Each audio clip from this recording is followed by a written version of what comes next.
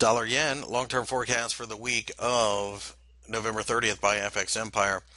The uh, dollar yen, as you can see, uh, initially fell during the week, but we turned back around to form a hammer. The hammer, of course, um, is a bullish sign, and it looks as if we will more than likely uh, try to reach towards the 125 handle. That area is going to be resistive, but we do feel that the market will someday break above there. We have non-farm payroll coming out during the course of the week, so that could be the catalyst. On top of that, we think that the 120 level below is the floor.